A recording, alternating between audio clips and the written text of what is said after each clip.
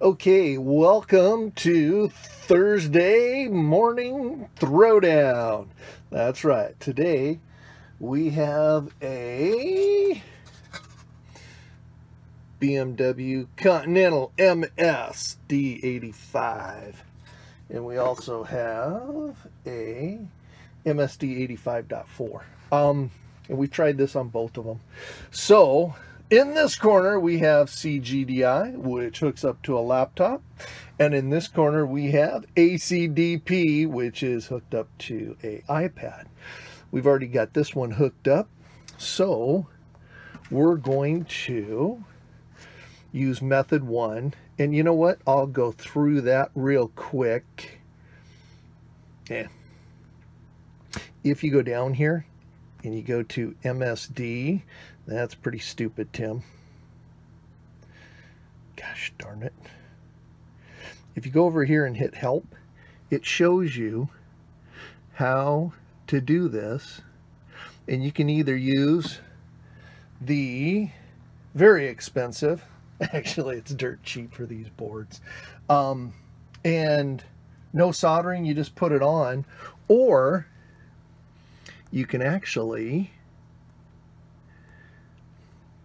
come on, come, or you can solder. If you want to, you can solder uh, 1k ohm resistors. And I tried that first, and then I went and bought the boards. Um, and, you know, nothing against the resellers on these. I'm not saying anything bad about anybody.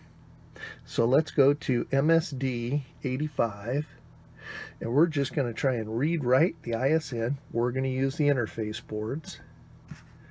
Okay. So detecting pins. It's got good contacts. So now we're going to continue. If you don't know the password, you click OK. And you notice that raises up a little bit in amperage. But every time, no matter what you do, it comes back with security access.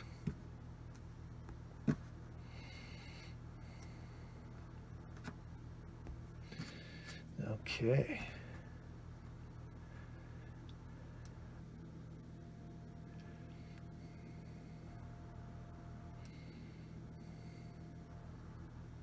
Okay, so something's going on with ACDP. So what we're going to do, um, CGDI, you don't need all of this. You don't even have to open it up. And I will stop this and start it once we get this cable hooked up, which is powered by the same power source. Okay, so this is the exact same ECU, but instead of having ACDP, we've got our cable hooked up, and I'll show you how you do that. And we've got CG, CGDI hooked up to it. And what you do is you go over here to MSD 80, 81, 85, 87, and you click on it. We're going to select our chip, which is an MSD 85. We click confirm. And now we go diagram. And that tells you where to put stuff. These are powers. That's a ground. And then you got your CAN high, CAN low. So we close that. And now we're going to click identify.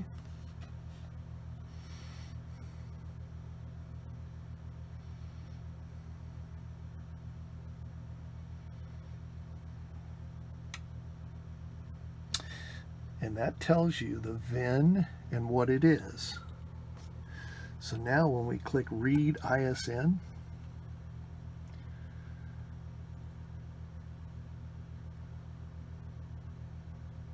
connecting, connecting, okay. It's a blinking and winking. Okay, so that was real time. You saw that. You saw how quickly it pulled the ISN.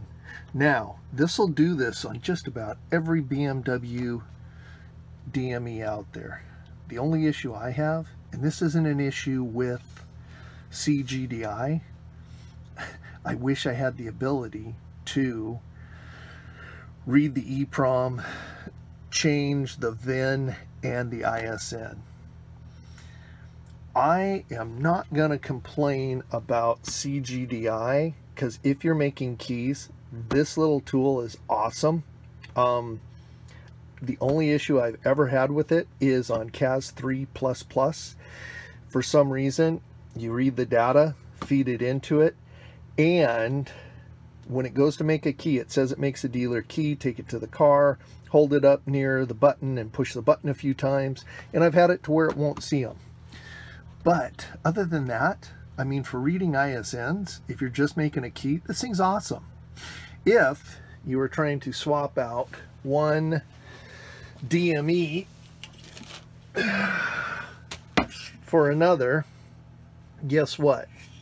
You either have to read the ISNs from both of them and then either use a Britus or something else, put it in the car, change the IS. You can't really change the ISN with a Britus on that.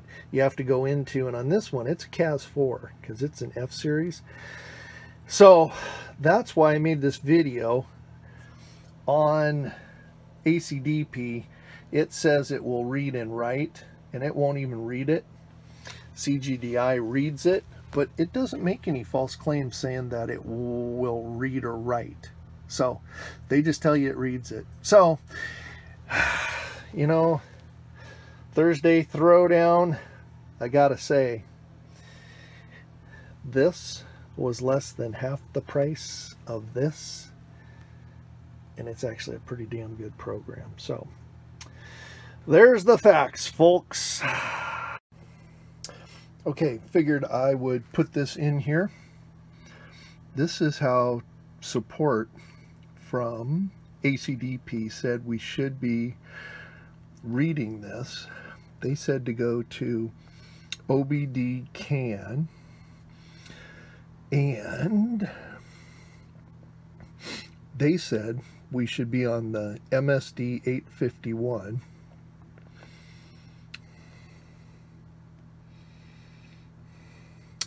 So let's see if we can talk to it.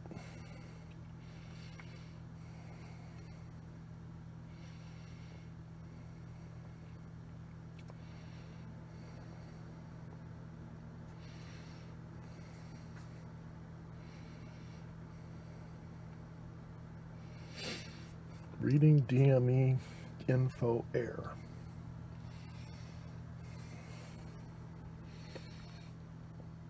I'm glad that you're generating logs.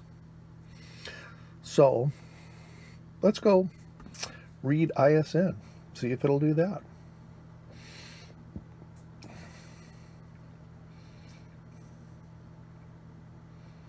Nope. It won't even talk to it. What about if we go to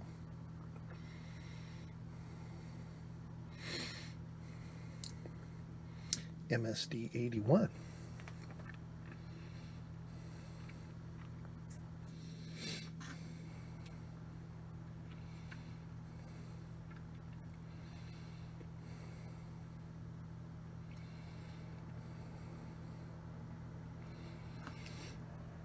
You can see it kicks up the amperage. But every time it comes back with the same thing.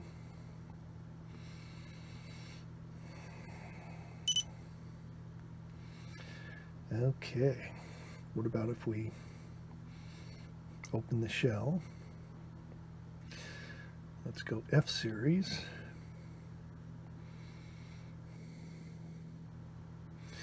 We'll try the MSD.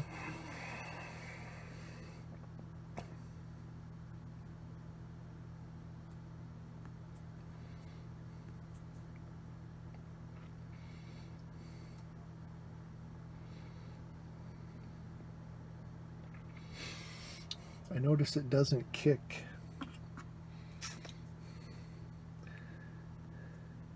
power up as much.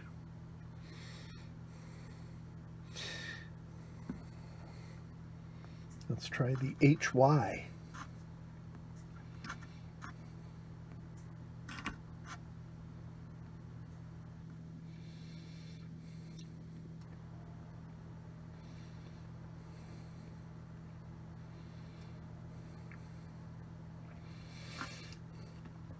I'm thinking that maybe ACDP, maybe maybe they have a different MSD DME over in their part of the world. You never know. But no matter what I do, ACDP will not read data from an MSD 85.